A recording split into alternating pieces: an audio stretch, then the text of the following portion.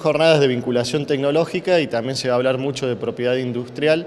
Eh, básicamente es un, es un, evento muy importante que tenemos porque nos, nos visitan eh, expertos del, del, exterior, vienen de la OMPI, de la Organización Mundial de Propiedad Industrial, vienen de Francia, eh, también de Brasil, vienen los directores de marcas y de modelos y diseños industriales de, del INPI Nacional de Buenos Aires.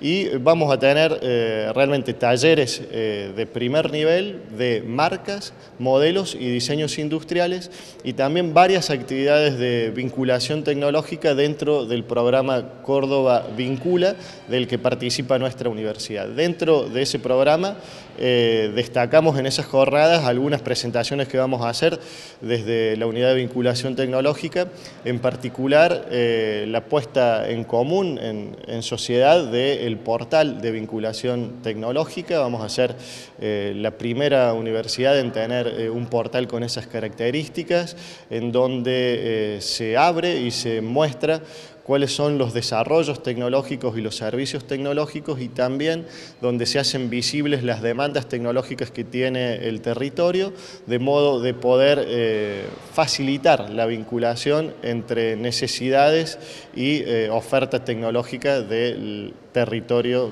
que, digamos, que nos incluye.